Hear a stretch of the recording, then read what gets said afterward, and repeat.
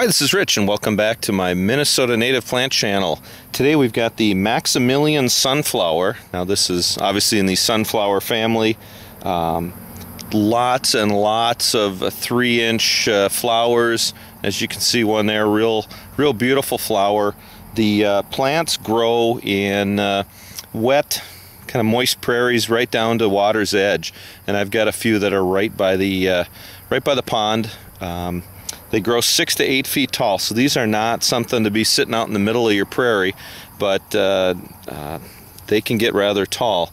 Let me back up here. You can see that the, the leaves aren't anything special. They do produce a lot of flowers and they get tall. You can see some of the others behind it.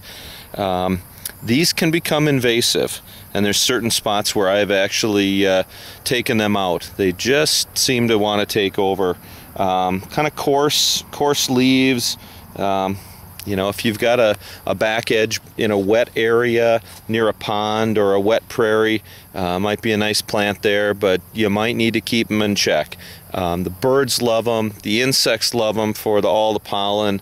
Um, when you get into the winter, the uh, the uh, birds will pick at all the seeds. Just to, you know, it is a nice three-inch uh, flower and producing a lot of yellow uh, late in the season, but they can become invasive. So, anyways, another nice plant if you've got a good spot for it and good use.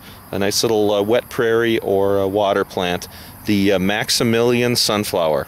Hey, thanks for uh, joining me for another edition on the Minnesota Native Plant Channel.